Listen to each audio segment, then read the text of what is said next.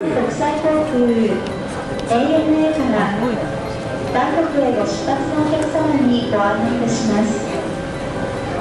タイ国際航空671便 ANA 5941便10時45分発バンコク行きはまもなく搭乗手続きを終了させていただきます。乗手続きをお済ませでないお客様はお急ぎ国際線カウンターまでお越しください May I have your attention please?